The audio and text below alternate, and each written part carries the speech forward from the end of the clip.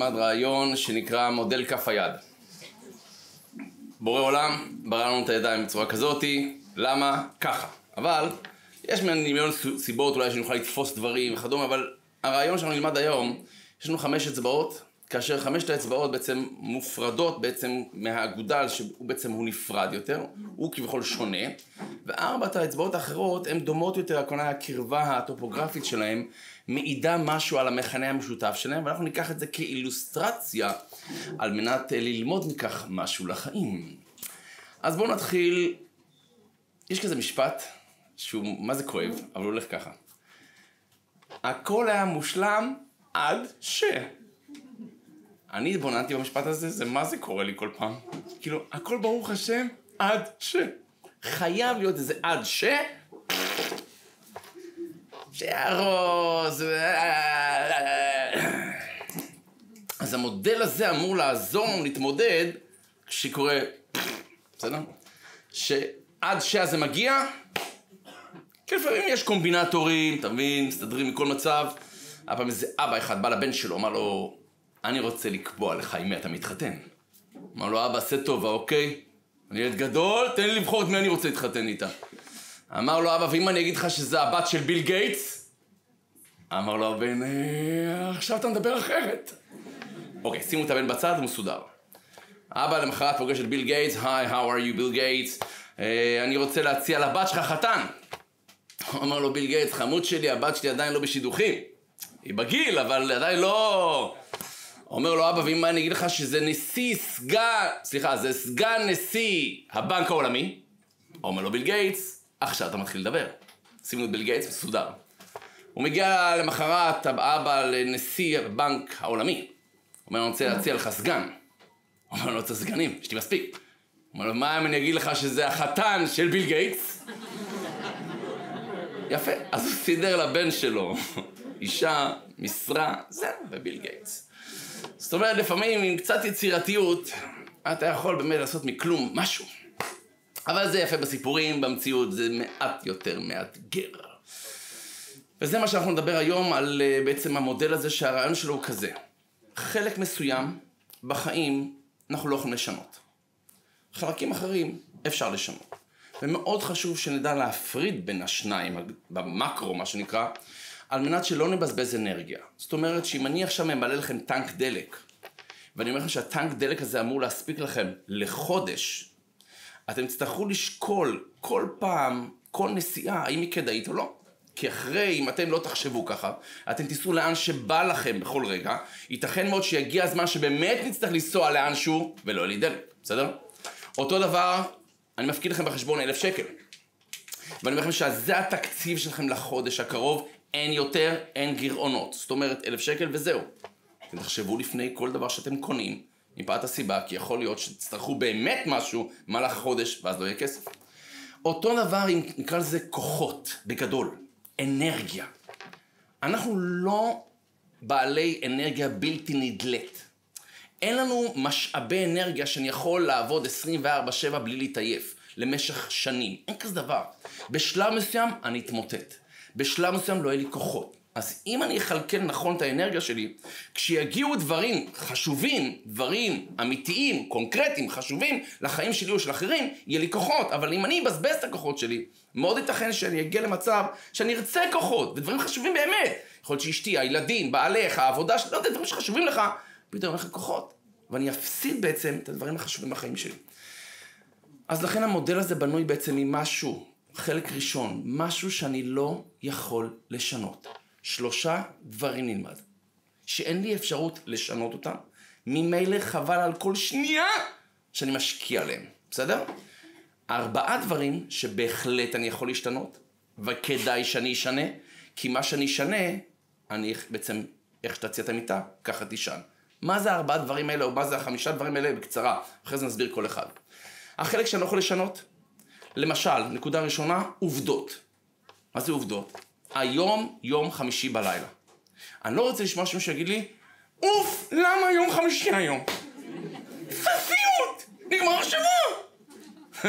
חמוד שלי, זה לא יעזור. היום יום חמישי בלילה, נכון? זאת אומרת, אין עניין, בוא נטחן את זה, למה יום חמישי היום? אני לא יכול להיות עצבני. למה אני לא מטר שמונים וחמש בלונדין עם עיניים כחולות? למה השם? למה? ככה. לא, אבל? למה? זאת אומרת, עובדות, אין שום עניין להתווכח איתן, אין שום עניין לטחון אותן, כי זה פשוט מאוד, יאבד, אני אאבד אנרגיה. אני ארגיש חלישות הדעת, כי אני מבזבז זמן, או על, נקרא לזה משאבים, על דברים שלא השתנו. שונא את העדה של בעלי. לא, זה עדה כזאת, זה, זה אופי, אני לא חשבתי ככה. אמרו לי, תהיי כזאתי. הרב, אני כזאתי. לא, זה לא דעות קדומות, הרב, סליחה שאני אומר לך את זה, זה ממש ככה, זה כל המשפחה הזאת ככה. עכשיו לא אמרתי איזה עדה, ככה שכל אחד ייקח לאן שהוא רוצה. זה העדה שלו, הוא לא הולך להחליף אותה בזמן הקרוב, כמה שידוע לי, אתה מבין? זה לא, זה אפילו לא דת, אתה מבין? דת, בא לך, לא יודע מה. כאילו, אבל עדה, זה מה יש. אימא שלו זה אימא שלו.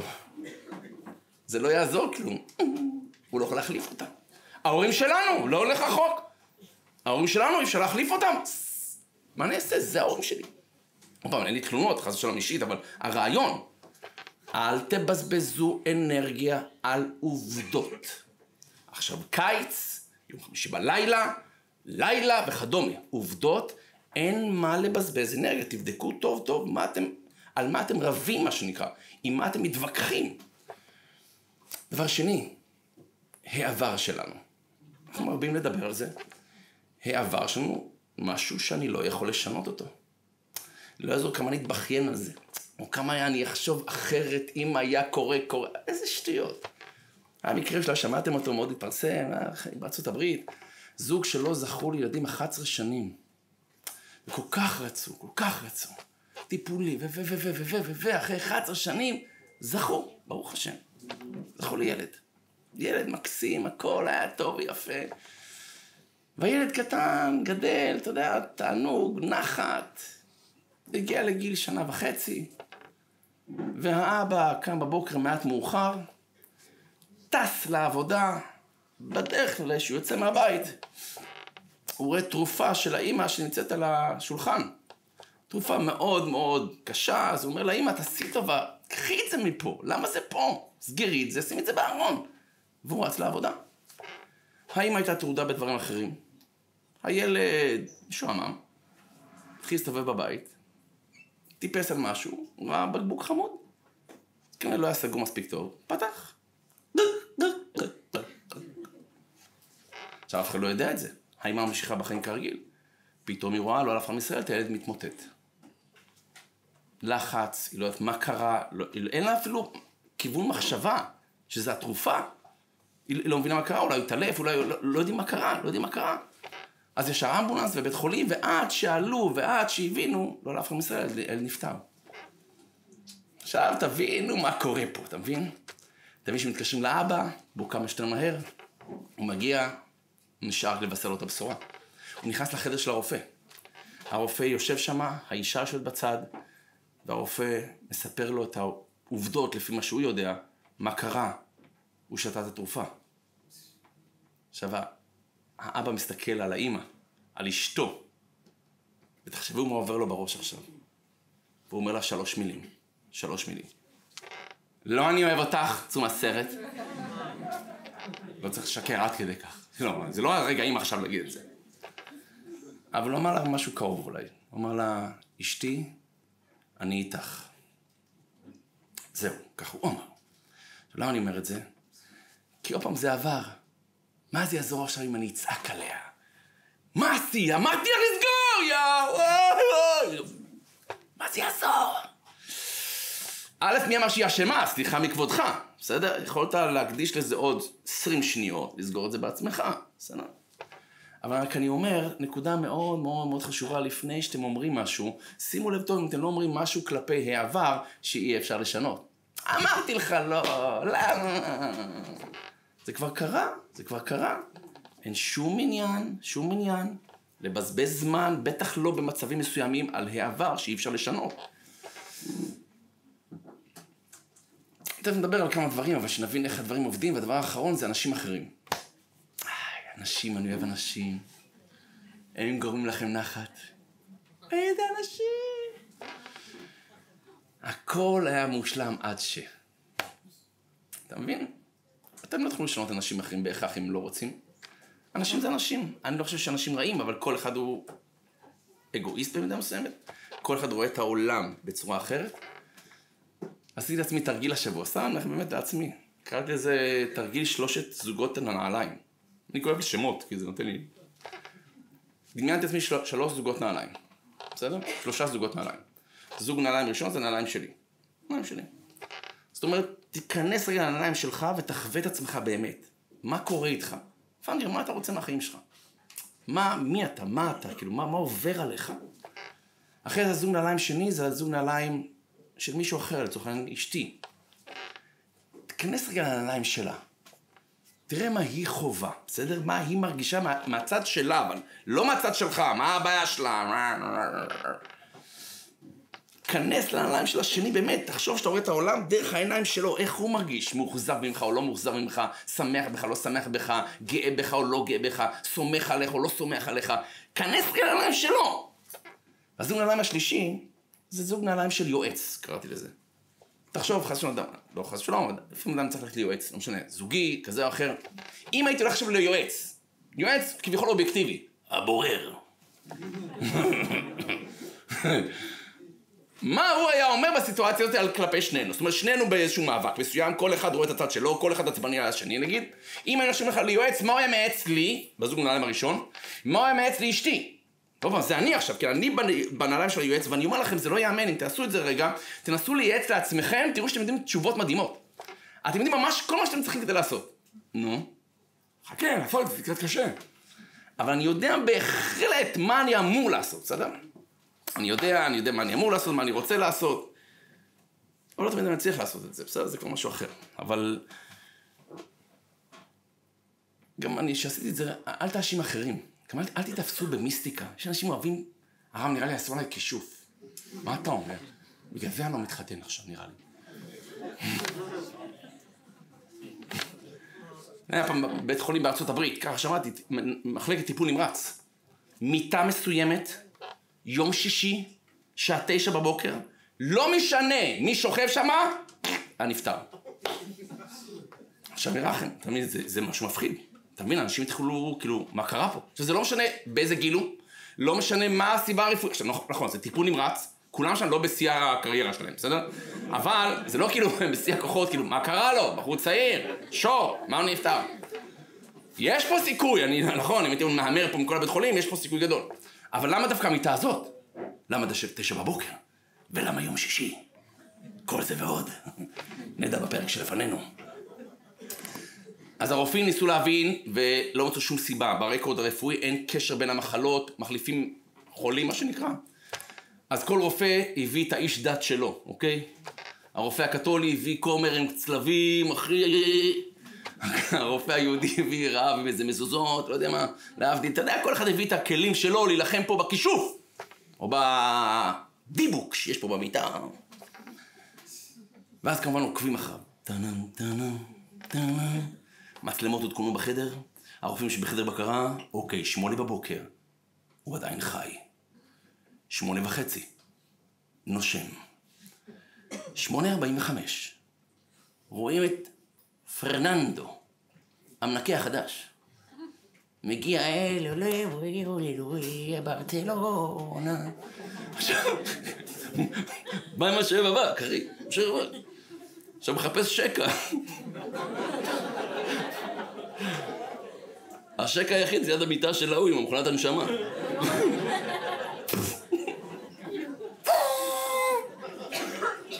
אני אומר, לפעמים הסיבות הן יותר כאילו... לא, פשוט הוא חדש, מסכן, הוא החליף את ההמלקה, היא בחופשת לידה, לא... מה, בוא יפי, לא... מה, אסור, אסור. בחור טוב, אתה מבין? אז לצורך העניין, אל תחפש לי בשמיים כל מיני סיבות, לא סיבות.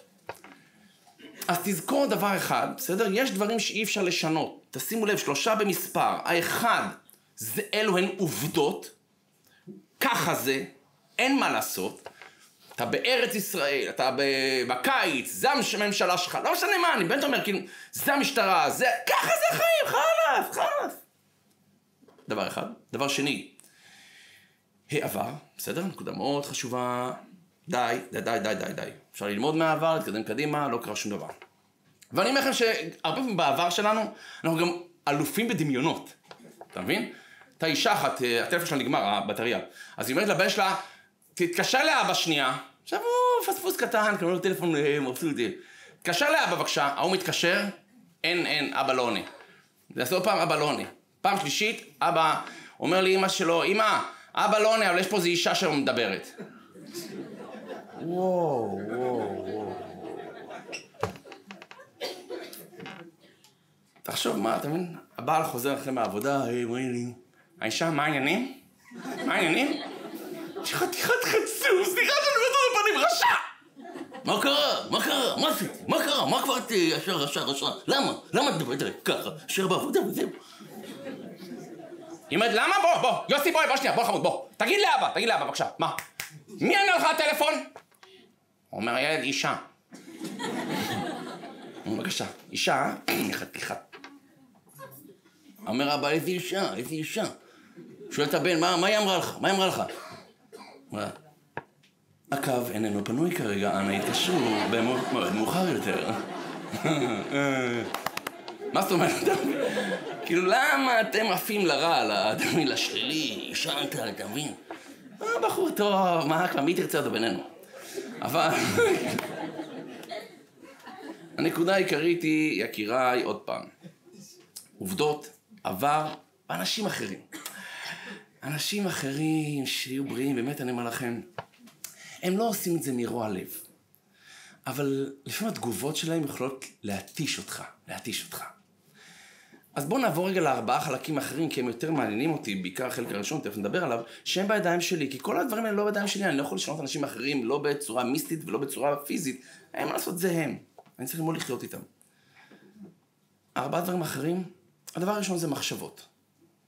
הדבר הראשון שהוא בידיים שלי, זה המחשבות. נכון, המחשבות שלי יושפעו מה, מהעובדות, או מהעבר שלי, או מאנשים אחרים. ברור, אני לא מנותק מהעולם. ברור שאם חוויתי חוויה לא נעימה בעבר, זה ישפיע על מחשבות שלי שיהיו שליליות בהווה. ברור. אבל המחשבות האלה, וזו הנקודה העיקרית, אני לא מחויב לחשוב ככה. שמעתי אדם שהיה נזיר, 18 שנה, אני אומר מפורש, בחור שוודי, הלך ל-18 שנה למנזר בתאילנד. ראיינו אותו. אמרו לו עכשיו תקשיב, לא את השם שלו, יש לי את השם מישהו, מה שרוצה.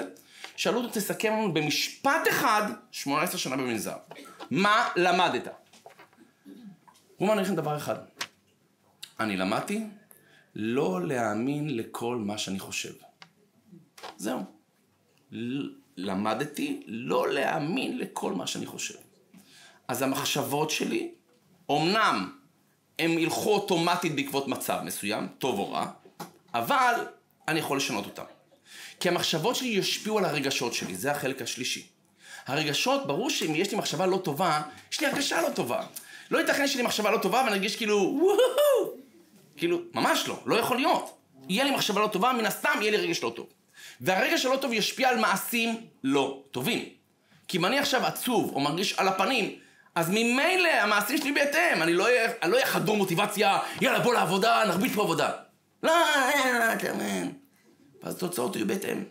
התוצאות שלי בהתאם, כי המעשים ישפיעו על התוצאות, והרגשות ישפיעו לי על המעשים, והמחשבות ישפיעו על הרגשות. והכל התחיל במצבים שאני לא יכול לשנות אותם. אז אותם אני עוזב. מה שנקרא, איך שפו ככה, איך קוראים לזה? כשהם ילדים, אני מוציא את הבוהם. אז את המצבים אני, שם בצד. מחשבות. בואו ניתן כמה דוגמאות, איך, איך הדברים עובדים.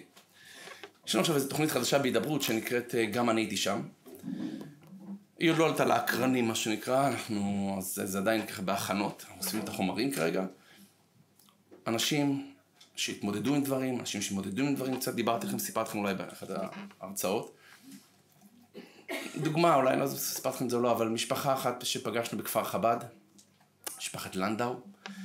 אה, האימא מושקי מספרת לי, הם זוג חמוד, זוג צעיר, צעיר, צעיר.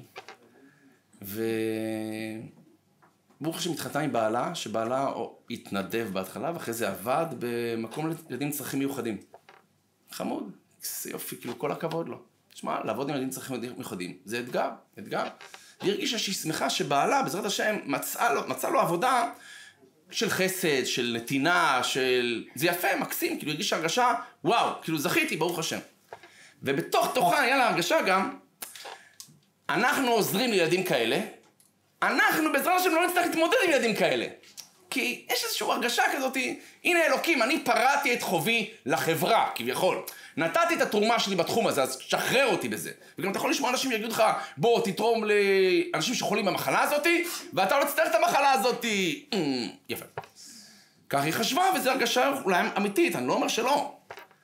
והם התחתנו, ברוך השם, הכל בסדר, ילד ראשון, פיקס. וילד שני, ילד עם צרכים מיוחדים. עכשיו, תבינו את ההרגשה, בהתחלה אתה לא, ראית, לא רואה את זה בהתחלה, היא אומרת. כי הילד לא היה נראה חיצונית, כילד עם אוטיזם קשה, אבל פתאום הוא לא מתפתח. פתאום כל הילדים מרגישים מתהפכים, מתחילים לזחול, ללכת, והוא כלום, כלום. אבחונים, אבחונים, והילד סובל מפיגור שכלי חמור מאוד. היא אומרת, תבין, זה, זה, זה קשה לכל זוג, אבל לנו כביכול קשה כפליים. זה המחשבה, עוד פעם. הילד לא ישתנה. אף פעם לא. זה המציאות. לא, הרב, תברך אותו. זה לא קשור. בסדר, אתה יכול לברך, שיפור אולי, אני לא... אבל הוא לא יהיה ילד רגיל. עכשיו, תבינו שזה לכל החיים. זה לא, טוב, בעזרת השם זה יעבור. בואו נחזיק חזק, שבועיים, חודשיים, שנתיים, ונהיה אחרי זה. לא נהיה אחרי זה. אז המצב הוא לא פשוט, והמחשבות הן בהתאם. יום אחד היא מספרת שהיא הולכת לגן שלו, לקחת אותו מהגן. והיא נראית מאוד צעירה, כי באמת זוג צעיר. התחתנו בסביבות גיל 19 כזה, היא בת 22 עכשיו, כאילו, היא הייתה, שאז בחורה צעירה, שהיא באה לקחת אותו מהגן ויש ריתמיקאית, זאת עם אקורדיון. יש עדיין את הדבר הזה? או חשמלי. ריתמיקאית עם קרבולות, כאילו, אה, כן, זה מקצוע של פעם, זה חמודה. יפה, יפה. ילדים, באתי לנגן לכם. חמוד. עכשיו הריתמיקאית, הגננת מכירה את ההורים, אבל הריתמיקאית לא. ואז היא באה לקחת את הילד שלה. והריתמיקאית אומרת לה, לא, פה הכניסה רק לאימהות. היא נראית ממש בחורה. בחורה חסידית, אז יש לה פאות, פאה כזאת, אז... לא פאות, כאילו זה לי יש, יש לה פאות. אה, אז היא נראית ממש, כמו השיער שלה, היא נראית ממש בחורה צעירה רגילה, כאילו בחורה צעירה. ואז אומרת לה הרתמיקאית, זה לאימהות פה רק. היא אומרת, אני אימא, אני אימא של שניהם. ואז הרתמיקאית כאילו, לא. לא, כל האימהות פה הרבה יותר מבוגרות. בדרך כלל ילדים צרכים מיוחדים, זה קורה אחרי הרבה פעמים, כאילו לידות יותר מתקדמות וכדומה. היא אומרת, כל האנשים פה מבוגרות, את אימא של שניהם? ואז היא אמרה לה משפט ששינה לה את החיים. עוד פעם, היא לא חשבה על המשפט הזה. מה אני אענה לאנשים שיגידו לי? ואז היא אמרה לה משפט, אני לא בחרתי בזה. אני נבחרתי לזה. תקשיבו, אני לא בחרתי בזה. וזו הסתכלות שמשנה חיים. למה? כי ברגע שהשתנו המחשבות, אוקיי, אני נבחרתי לזה. מכל המשפחות, עמדו בתור מצדי משפחות אצל אלוקים, ואלוקים מתלבטת למי מי מתאים לגדל את הילד שלי שניאור, מי מי מי מי מי, אתם, אתם. ואלוקים בחר בנו, נכון? נבחרנו כמו שאדם מקבל זימון לטיס, להבדיל, כן, לא משנה, להבדיל, אבל לטיס, לחובלים, לסיירות, למודיעין, נבחרת. אני נבחרתי לזה, לא בחרתי בזה. אז מילא ברגע שהמחשבות השתנו, הרגשות השתנו, כבר לא הרגשה של מסכנות, ולמה דווקא אני, ולמה עכשיו, וכן הלאה. ממילא המעשים השתנו, היא פתחה עמותה, שקרא לזה הנני, עמותה לאימהות עם ילדים צרכים מיוחדים. כביכול, אני פה בשביל הילד שלי. הנני כביכול.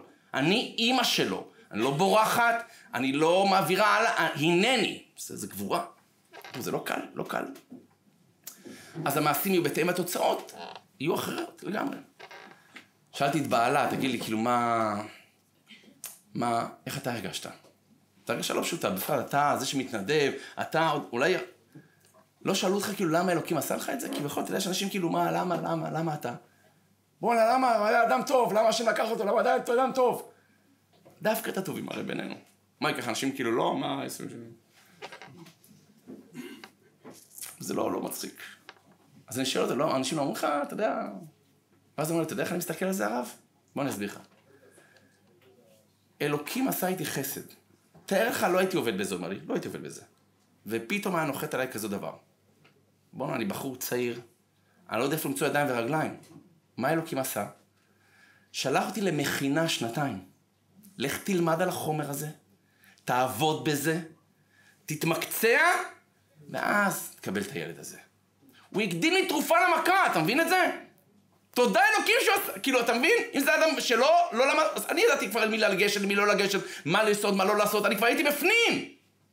זאת אומרת, שינוי של המחשבה ישנה את ההרגשות, ישנה את המעשים, את התוצאות, אז הוא כבר הפכה להיות המנכ"ל של העמותה שמה, והוא קידם אותה מאוד, וזה, אתה מבין? כי הוא קיבל פתאום drive כזה, כי זה, זה גם ילד שלו, זה לא סתם שאני מתנדב אצל מישהו אחר. בואנה, זה הילד שלי, אז אני אדאג לו הכי טוב בעולם, אז אני כבר מבין את ההורים האחרים מזווית אחרת לגמרי. הכל השתנה אצלו. אז אני אומר, ברגע שהמחשבות משתנות, הכל משתנה. אבל לא תמיד קל להגיד ככה. אספר לכם על עצמי עכשיו משהו שאני אתוודה. אה, אני כישרון. אני אסביר לכם, לרעה, כאילו, אל תלמדו ממני בסיפור הזה. אבל לפני שבוע, שבוע וחצי, יום שלישי, היה לי יום קשה, בסדר? אשתי טסה לחו"ל. בהתחלה היה לי הרגשה טובה. כאילו, לא, אתה יודע, כאילו... חופשי ומאושר, אחי! סתם. זה, ככה הרגשתי בהתחלה. אז שפתאום הכל נפל עליי, כאילו, רגע, מי עשה כביסה עכשיו? כלים, קניות, סליחה, מה? איפה היא? שתחזור עכשיו. קיצר, אז... אז אתה יודע, יום ראשון, ביום ראשון שני עוד אני באופוריה, ואז לאט אני נכנס כאילו, מה? זה היה יום שלישי, ואני צריך לקחת את הבן שלי הקטן לגן עכשיו, לחיידר שלו. עכשיו, שיהיה בריא, זה צריך לקום על הבוקר, אתה מבין? עכשיו, אין לי בעיה, אני קם מוקדם. הפועל צריך לקום ממש מוקדם. אז אני צריך להתפלל בבוקר באיזה מניין של כאלה, כן, משכימים כאלה, ואין לי כוח, ואני עייף, ואני בא לזה, תדאג לו עכשיו, נו מה? מה אתה אוכל בבוקר? טוסט. מאיפה יש לך טוסט עכשיו, תגיד לי מה אתה? בוא נאכל קורנפלקס כמו כל הילדים. לא, טוסט. לך תשיג לו עכשיו גבינה צהובה עכשיו. מה, נדפוק אצל השכנים להביא גבינה צהובה? לא יודע. לך, איפה הטוסטר בכלל? ואיך, ואיך אתה... אני אנסה לומר, לא, אבא, אני אוהב קטשופ. מה אתה שים קטשופ? מה אתה רוצה ממני קטשופ כך? אתה מבין? אני לא, לא, לא בנו לדברים האלה. אז כאילו לאט לאט התחלתי כזה, עכשיו תתלבש, אין לי חולצה. מה איפה לך חולצה? קח את שלי, קח את שלי, מה הבעיה? עד ששאדה יאללה בוא כבר, תאמין אנחנו מאחרים, עכשיו אני גם בלחץ, יש לי בתשע בבוקר תוכנית רדיו. עכשיו בתוכנית רדיו אני צריך לבוא כאילו, בוקר טוב! כאילו חיים של מיליון דולר, אתה מבין? לא זה שאני פה עבד של קטנטנים עושה להם סנדוויצ'ים על הבוקר. קצר, אז יאללה, תוכנית ברדיו, בסדר, הנה, יופי, יופי, כיף לכם, תתחזקו, נהדר. לא, זה, כמו הליצן העצוב, אתה מכיר את זה? כאילו, יאללה, החיים שלך נפל. טוב, אז אני סיימתי תוכנית ברדיו, לי תוכנית בהידברות. הנה, יופי, עכשיו אני נוסע גם לראיין אנשים, וגם אני צריך כאילו, אה, מעניינים, מעניינים. כאילו מראיין אנשים, והולך, ונוסע, ויופי, יופי, יופי, ונוסע, ואחרי זה מחכות לי שתי הרצאות, באשקלון ובבאר שבע. ואני בלחץ של זמן, ואני טס עם האוטו, וזה בתי ספר גם כן, תביא, כיתות ז' עד י"ב. מה קשור אליי עכשיו, כאילו? כן, בא לי לתת הרצאה עכשיו לכיתות ז' עד י"ב בחופש. הם בחופש שלהם, אז עושים טובה שלך שבאים אליך, אתה מבין? טוב. בקיצור, אז שני בתי ספר, רץ מאחד לשני, סיימתי. הרגשתי הרגשה, זהו. אני נוסע הביתה, לא שמישהו מחכה לי בבית, אבל אני אסע הביתה. אשתי בחו"ל. בקיצור, אני עצרתי בתחנת דלק. עכשיו תקשיבו איך מסתבכים העניינים. אני בא, אני מלא דלק, איך שאני יוצא מתחנת דלק, אני רואה מכונית עומד בצד, איך שאני עובר, שני אנשים יוצאים מהתחנת, מה, מהמכונית, נראים בני 45 פחות או יותר, בסדר? יוצאים גבר ואישה, זאת אומרת, נראה לי בעל ואישה כאלה, והם עוצרים את המכוניות, כאילו קרה משהו. עכשיו, אתה יודע, אני אחרי שעברתי את היום הזה, הרגשתי כאילו, אוקיי, אני פנוי לחסדים. כאילו, לא... לא, כאילו, אני מרגיש כאילו, וואלה, אני סיימתי את העבודה, בבקשה, אני פה בשבילכם. אז אני אמרתי, תהיה נחמד, ת, ת, תראה מה קורה. אז אני יוצא שנייה את המכונית, אני מוריד את החלון, כאילו, מה קרה? כי זה נראה לי לחץ כזה. ואז הגבר מסתכל עליי, אומר, You are a fucker! מול! הוא בא לי, זה הרב פאנקר! יפה. עכשיו, הסתבכתי, הסתבכתי. למה? כי עכשיו אני לא יכול להבריז סתם, אתה מבין? אופ, סליחה, לא, אשתי מחכה לי. עכשיו כאילו, שלא יהיה בושות, הרב, ככה מתנהגים רבנים. אתה מבין, אסור לך להיות לך בן אדם, כבר אסור להיות. בקיצור, אז אני אומר, מה קרה? מה קרה? אוקיי, עכשיו, ספר לי סיפור. לא לקפוץ למסקנות. המסקנות נדרג בסוף, וגם עם סימן שאלה. הוא אומר לי, פנקר, תקשיב. אני צריך לנסוע לאש- לעפולה, הכרטיס אשראי שלי נחסם, ואין לי דלק. אוקיי. עכשיו, בוא, אני אמיתי. אם זה היה שני, אני מודה, אם זה היה שני, חבר'ה, נראים לי ככה עפוצים, חלאס, עם כל הכבוד. אין לי פה כלום. במקרה, מילאת דלק עכשיו. נכון, נגמר לי. לא יודע, אני לא... אבל זוג רגיל, לחלוטין, רכב גם נראה לא רע. זה לא תגיד לי זה רכב כזה מצ'וקמק, כי לקחו אותו פה מה- מהסיבוב. רכב נראה לא רע, זוג... נ- אוקיי. אז אה, אני אומר, "אוקיי, שנייה, אני אעצור בצד, אני אראה מה קורה. אני יוצא החוצה. עכשיו, בינתיים אשתו, מה שחשבתי שזה אשתו, היא עוצרת אנשים. עוצרת אנשים כאילו עם מכוניות. הוא אומר לי, יואו, לא נעים לי, מה, אני מקבץ נדבות וזה. באמת ריחמתי עליו, באמת ריחמתי עליו. אז אני מסתכל בכיסים, אין לי כלום מזומן. עכשיו, היה לי את האשראי שמילאתי אני. אז אני אומר לו, מה, אין לכם, כאילו, אין לכם דלק? מה לא, וזה, ועד עפולה, ו... וגם רציתי לקנות משהו לאכול ולשתות, כאילו, קצת, אולי גם לעשן משהו, כאילו, בדרך, כאילו, לא, לעשן סיגריה, כאילו, להתעורר, כי אני מפחד שאני ארדם. מה קרה לכם? לא. בקיצור, אז עכשיו אני... בסדר, תראה, עכשיו אני אדם, אני אדם טוב במ- במהותי ואני גם מאוד מאוד תמים. בגלל זה אני אומר לך, אני כישרון, נא לא ללמוד ממני, בהכרח. עכשיו אני כאילו, אוקיי, תשמע, אבל אני צריך להגיע עד עפולה. ומסכן, רוצה משהו לאכול. בוא נעזור לבן אדם, אוקיי? בוא נעזור לבן אדם. אז אני אומר, תקשיב, יש לי אשראי, בוא... תביא את האוטו, תנו לך דלק. עכשיו אני אמרתי לעצמי, כמה אני אתן לו? מפה, מבאר שבע עד, עד עפולה? גג 200 שקל, נכון? בסדר. ואז הסיפור מתחיל להסתבך. הוא אומר לזאת שאיתו, שחשבתי שזה אשתו, לך עם הרב. מה זה לך עם הרב? לא, כאילו, תביא את האוטו. אמר לי, לא, זה אוטו אחר. אהה, אוקיי. עכשיו מתחילים סימני שאלה, אבל עדיין לא, לא ברורים. טוב, אני הולך איתה, מביאים אוטו אחר. עכשיו, גם האוטו השני נראה טוב מאוד. עוד פעם, זה... לכן, אני... כאילו מה, ת, תמכור את הגלגל הרזרבי, אחי, כי אתה... יש לך פה, בלי עין הרע. טוב, מביאים את, ה... את האוטו ב... לתדלקייה שם, ואז אה, אני שואל כמה דלק חסר לכם, איפה, איפה את אוחזת? אז היא אומרת לי כבר ליד הפעמון, כאילו זהו, סוף. אז אמרתי, אוקיי, מה זה, אז אני, אני אמלא לכם אה, ב-200 שקל, אוקיי. אז היא אומרת, אבל כאילו, הוא רוצה גם משהו לאכול.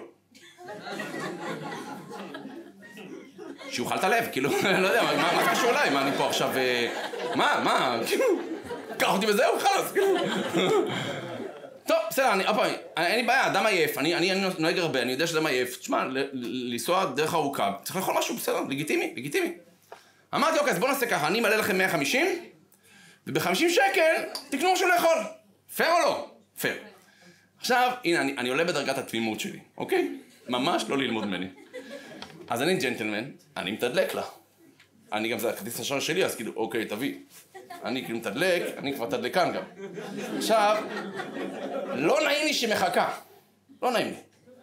אז אני אומר לה, קחי את האשראי. הרב, זה כבר טמטום, אוקיי? סליחה שאני אומר את זה בפנים. סליחה, אני אדם טוב, אוקיי?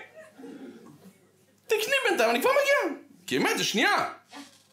אוקיי, עכשיו אני מסיים לתדלק, אני נכנס פנימה, ואז אה, אני קולט שהיא לקחה אה, קולה. ובמבה.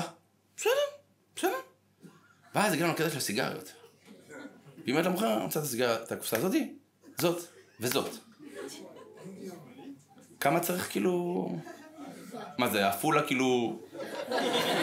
סביב העולם ב-80 יום? כאילו, מה קרה? אמרתי, אם זה, אני נכנס ב-50 שקל, סבבה. ואני אקבל את הקבלה. 124 שקל. ואז אני מרגיש קצת, פאנגר, עקפו אותך.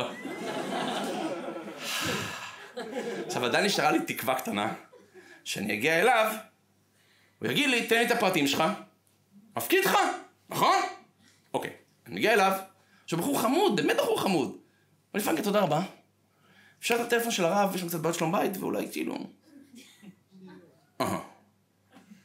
להתראות, נגמר. נכנסתי לאוטו עם הרגשה, יא טמבל. עקצו אותך. עכשיו, שנייה, שנייה, לא לקפוץ למסקנות. אלו המחשבות שעברו לי בראש, בסדר? מן הסתם, איזה הרגשות יהיו לי? אה, אני טמבל, אני דפוק לגמרי, אתה מבין? גם אשתך טסה לחו"ל, וגם אתה פה לבד עם הילדים מכין סנדוויצ'ים, וגם עקצו אותך, וגם, יא, פיפאקר, אתה גדול, אתה גדול. אז המעשים שלי בהתאם, וואלה, דפקתי את הגז, יאללה חלאס, תאמין, נוסע הביתה מהר. והתוצאות היו בהתאם, לא עצרתי שוטר, אבל אתה יודע, עוד רגע וחזר. שימו לב, הכל התחיל מחשבות.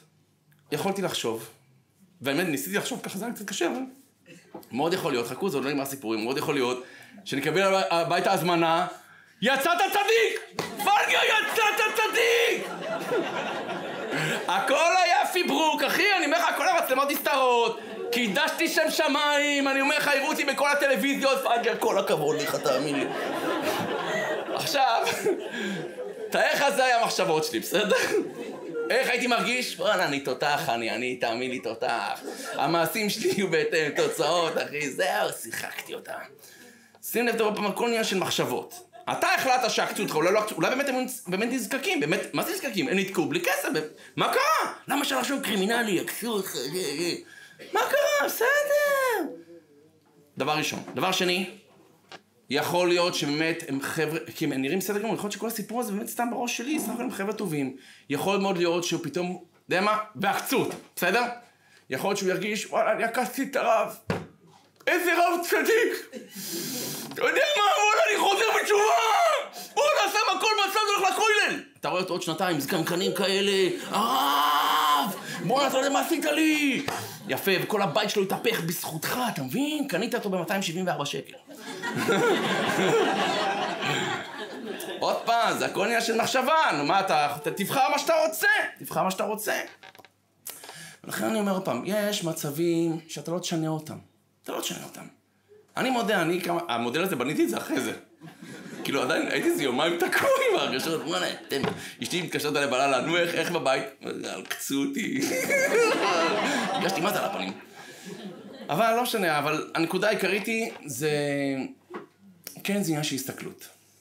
אבל אני אומר עניין של הסתכלות, מכיוון ש... החיים לא בידיים שלנו. באמת אני אומר לכם. יש לנו פה הכל מושלם עד ש... ועד שזה מגיע. ואיך נתמודד עם זה, זו בחירה שלנו. זו בחירה שלנו. אז כמה כללים איך להתמודד, אני החלטתי ללמוד ממים. מה זאת אומרת? בואו נהיה כמו מים. מים, דבר ראשון, הם מאוד זורמים. הם מאוד מאוד זורמים. תזרום עם החיים, תקשיב, תתקדם, תתקדם, תתקדם. מים מרמזים ביהדות על ענווה. הם הולכים למקום נמוך. אם אתה קצת תוריד את עצמך, בסדר.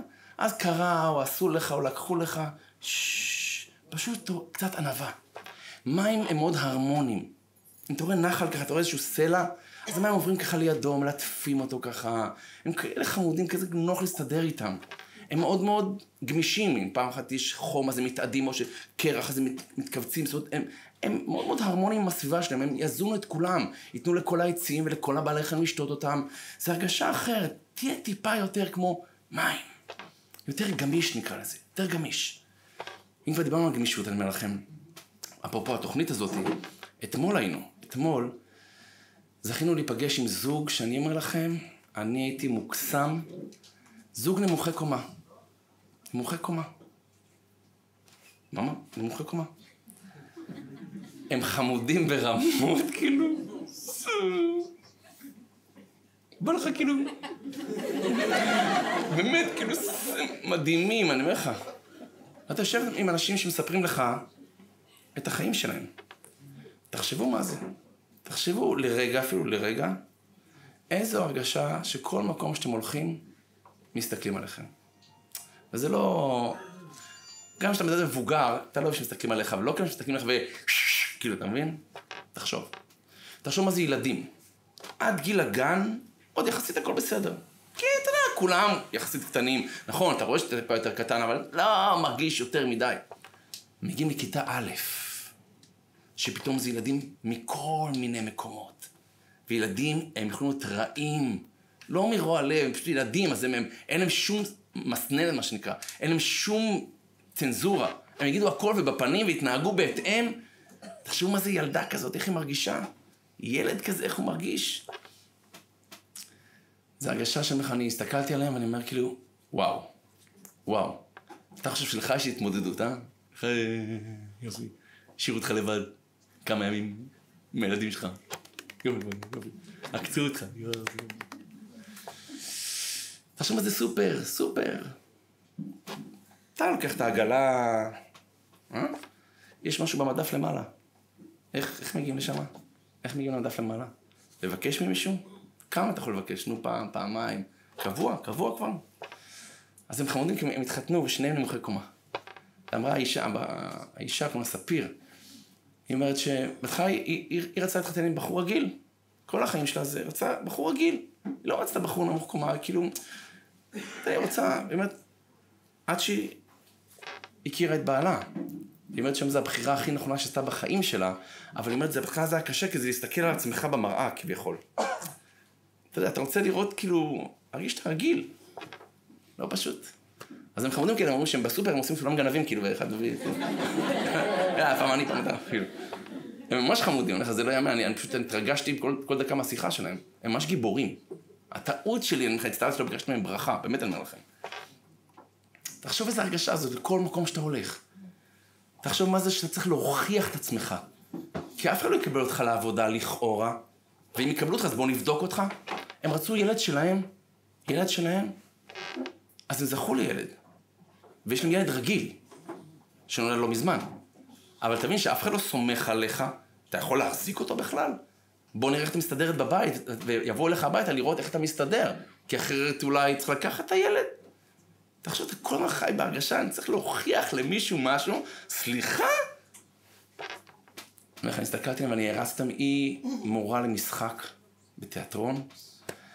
אה, היא אומרת, המשפט שחיזק אותה היה שפעם אחת מורה שלה אמרה לה, שמכל דפקט צריך להפוך לאפקט. יפה, למה לא? נכון? כל דפקט, תהפוך אותו לאיזה אפקט. ומה שחיזק אותה הייתה אימא שלה, היא אומרת. אימא שלה כל הזמן אמרה לה, את ילדה רגילה, את מקסימה, את יפייפייה. וזה חיזק אותה, אתה מבין? כמה כל אחד מאיתנו צריך כזה דבר. מישהו שיגיד לו, אתה יפה, אתה חכם, אתה מוצלח, אתה תותח, כאילו. עכשיו, יש לכם כזה אחד שאומר לכם את זה? אשריכם, זכיתם. זכיתם. יש כאלה שרק אומרים לך ההפך. מה יצא ממך, תאמין. לא, אני צריכה מישהו יותר אסרטיבי. אני צריכה מישהו יותר... אה? ואז אתה מרגיש, מה לעזוב אותך, תאמין לי. אין לי כוח לכלום, נמאסתי מהחיים. אז אני אומר את זה מכיוון שתהיו אתם התפקיד הזה של המחזק. התפקיד הזה שבונה, שמעודד, ש- ש- שמחזיק מהשני. כי אחרת אני אומר, יגיע הזמן שגם אנחנו נצטרך את זה. אבל אל תצפו בהכרח שתקבלו את זה. תראו שהתורה מספרת על משה רבנו. בן אדם הזה מסר את הנפש לעם ישראל. הוא נתן שמה, נתן שלהם. והם רק ירקו בפנים שלו לאורך כל הזמן כמעט. המלחמה האחרונה של עם ישראל הייתה מלחמת מדיין, ובורא אומר למשה רבנו, אתה יוצא למלחמה הזאת, ואחרי זה תיאסף אל עמך. כאילו, זו המלחמה האחרונה. אתה מסיים אותה, אתה גמרת את החיים. ואתה לא נכנס לארץ ישראל.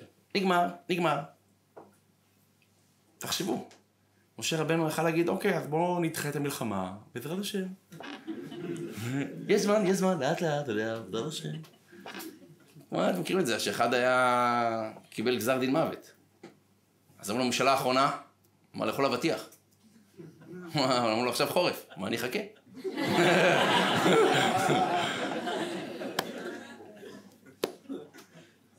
אז אני אומר את זה מכיוון שהוא יכל לדחות את זה. אז אומרים המפרשים שהוא יצא מיד למלחמה, ואז, ורק אז, בסוף חיי החיים שלו, עם ישראל הסתכל עליו, אמר, וואלה, הוא גבר. עד אז חשבו בואנה אינטרסנט, עושה הכל בשבילו. תבין, הבן אדם הזה השקיע את החיים שלו, אוקיי? אפילו הילדים שלו לא ירשו אותו. אתם יודעים איך קוראים לילדים של משה רבנו בכלל? לא יודע, היה לו ילדים בכלל? לא יודע מה קרה איתו. היה מתאים שאתה יודע, תחשוב, רב של עיר, מנכ"ל של חברה, הכניס את הילדים שלו, אחי! כנסו לנעליים של אבא. בשביל מה עבדתי כל החיים? בשביל מה? אתה מכניס את החתן שלך, מכניס את הבן שלך, את הבת שלך, אתה יודע, קודם כל הצלחת, אחי. משה רבנו זהו, כלום. והוא לא נכנס ישראל, לארץ ישראל בגלל עם ישראל, לא בגללו.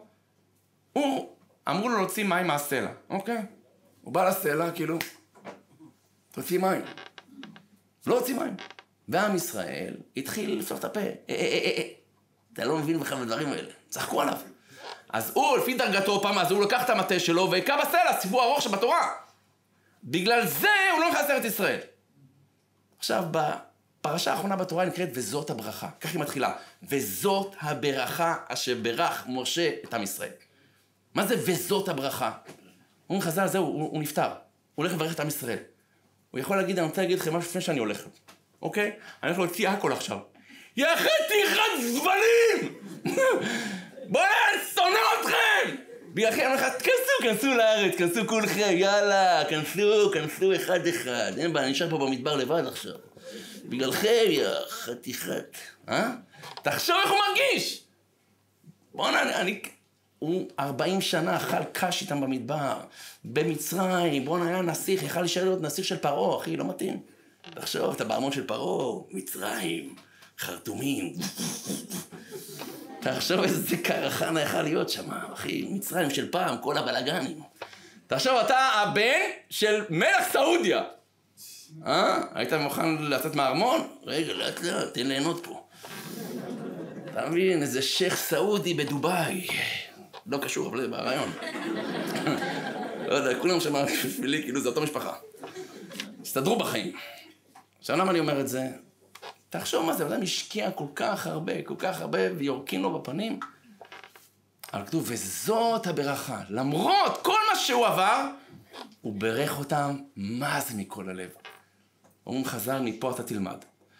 גם אם השקעת במישהו, השקעת בבעלך, השקעת באשתך, בילדים, בעבודה, ופתאום אתה מרגיש שמי שהשקעת בו כל כך הרבה, לא מחזיר לך אפילו פרומיל. או אפילו יותר מזה, נוגח לך באף, מה שנקרא. זה הרגשה מאוד פוגעת, בסדר? מאוד פוגעת. אבל התורה מלמד אותנו, תהיה דומה לאלוקים. והלכת בדרכיו. אלוקים הוא אותו דבר, כביכול, מה זאת אומרת? אלוקים נותן לכל אחד מאיתנו שפע, ובינינו, אני לא הילד הכי טוב, תכלס, בוא נהיה אמיתיים. כאילו, אני לא הילד הכי טוב. ולמרות שאני לא הילד הכי טוב, הוא ממשיך לתת לי, ברוך השם. שימשיך לתת, ש... לא, לא דיברתי, והוא. תחשוב כמה אנשים כאילו, מה שנקרא, אלוקים נותן להם, והם כאילו, אוקיי, חפש אותי. בעזרת השם, בגיל 90, דבר איתי, אוקיי. אני תורם, תורם, פעם בשנה, תורם, תורם, חס ושלום. שני שקל וחצי. להשקיע את המצפון. אני אומר את זה בכוונה מכיוון שתנסה להיות כמוהו. אתה רואה, אלוקים נותן, נותן, נותן, כביכול, כלום, אני, אני מחזיר לו פרומיל אולי. בכל זאת משרתת לי. ככה תתנהג עם אשתך, ככה עם בעלך, ככה עם הסביבה. חזק. ככה עם הסביבה שלנו, אני אומר, מכיוון שאין לכם מושג מה אירוע כמו שלנו פה עכשיו עושה. באמת אני אומר לכם. מישהו שלח לי דבר שנקרא אפקט מאה הקופים. ניסוי שנעשה ביפן, התחיל ב-1952, במשך 30 שנה עקבו אחר קופים. תופעה מוזרה, אבל עובדת כך, תקשיבו טוב. הנחיתו להם באי בטטות, עטופות בחול. קופים אוהבים בטטות. הבעיה היא שהם עדיין הם קופים, כאילו הם לא יותר מדי אינטליגנטים בינתיים, אז כאילו, אוקיי, הנה בטטה. אתה שומע את ה... של החול. זה אין מה לעשות. עד שקופה אחת, תקשיבו טוב, בת 18 חודש, לקחה בטטה ושטפה את זה במים. ואז אכלה. הופה, וירא קוף, כי טוב. אז היא רצה לאימא שלה, כביכול, כן? ולא כביכול, לא רצה, אתה יודע.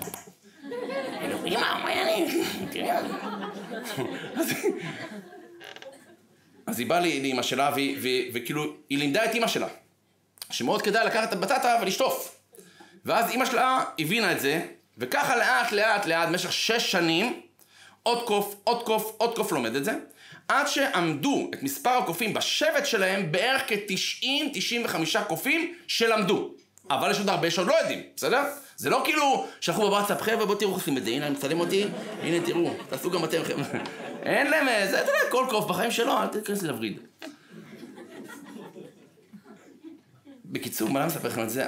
הפלא היה, וזה פלא שאין לו כל כך הסבר, כשהגיעו, עוד פעם, זה לא על, על המילימטר, אבל הם טוענים, קוראים לזה אפקט 100 קופים.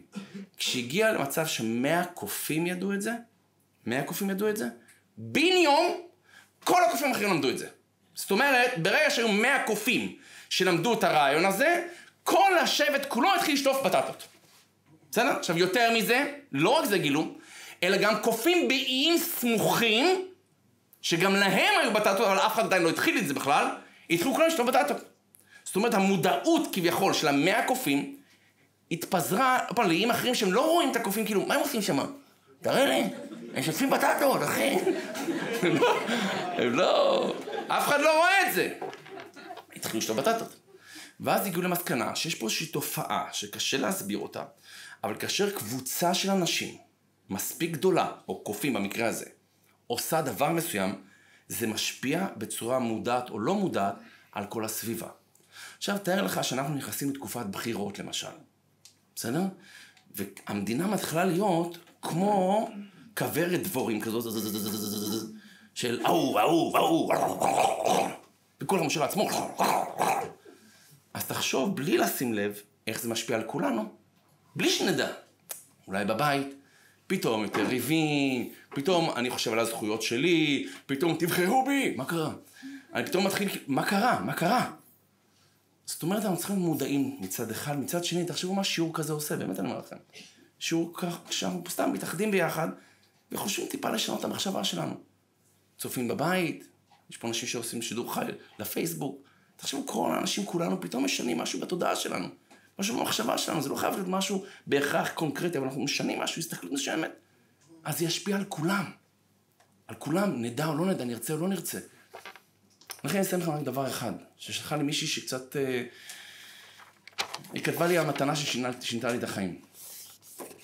והיא כותבת לי ככה, היא פונה כביכול לציבור, לא דווקא אליך, עכשיו גם לא אליכם, הרעיון. הייתם רוצים מתנה שתשנה לכם את החיים? הגודל של המתנה אומר, כלום. משהו כמו איזה כדור טניס בקטנה. והמתנה הזאת תגרום לכם, א', שהיא תאחד את כל המשפחה שלכם. תחשבו, סכסוכים, פתאום כולם יהיו אחד. אתם תרגישו אהובים ומוערכים, כמו שאף פעם לא הרגשתם. אה, לחיים שלכם תהיה משמעות פתאום. פתאום תאריכו את החיים ממש. אנשים ומכרים שלא ראיתם שנים יבואו לבקר אתכם, יגידו לכם אתם נראים מצוין. תקבלו עשרות זרי פרחים, בלונים, שוקולדים. מתנה קטנה, זה הכל. אתם תכירו אנשים חדשים, אה, אתם תחיו חיים, תחיו חיים מאוד בריאים אחרי זה, בעזרת השם. אה, שמונה שבועות לפחות, חופשה. בטטות, בלי חול. כלום. תשכבו במיטה, מדוזה, מדלדלית על החוף, אחי. מה רע, מה רע? אתם תאתגרו בחיים, אבל אתם תשארו ענבים. ואומר, אז לכאורה, מתנה פשוטה, לא עולה הרבה כסף. ואם אני מציע כזו מתנה, מי לא רוצה כזה דבר לכאורה, אה? מי לא רוצה כזו מתנה? תשנה את החיים שלכם, תאחד את המשפחה, אנשים יעריצו אתכם, יעריכו אתכם, זרי פרחים, החיים משתנים, תקבלו גם, אם כבר דיברנו על עישונים, קבלו קנאביס לכל החיים, אחי, רפואי, אבל גם טוב. אה? היא אומרת לי, המתנה הזאת שאני אומר, אני קיבלתי אותה לפני חמישה חודשים, בגודל של כדור פינג פונג כזה, לא על אף מישראל זה נקרא גידול במוח, היא אומרת, ולא על אף אחד מישראל, היא אומרת, זה שינה לי את החיים. עכשיו, אני, היא אומרת, אני, אני כותבת לך משהו על בעדינות, היא אומרת. אני לא מאחלת את זה לאף אחד, ברור, לאף אחד חס ושלום. אבל להבא, היא אומרת, להבא. שאתם מקבלים משהו לא צפוי, משהו לא מתוכנן, משהו שלא התפללתם עליו, מה שנקרא, אולי תבחרו להסתכל על זה כמתנה. כי אם נשנה את ההסתכלות, את המחשבות, אז הרגשות יהיו בהתאם. אז המעשים יהיו בהתאם, והתוצאות יהיו בהתאם. הכל לא מתחיל מהמצב, המצב הוא נכפה עלינו. אני לא בחרתי בזה. נבחרת לזה. ומפה הכל יכול להשתנות. שנזכה לשנות את זה לטובה, אמן כן ירצון. תודה רבה, שבת שלום.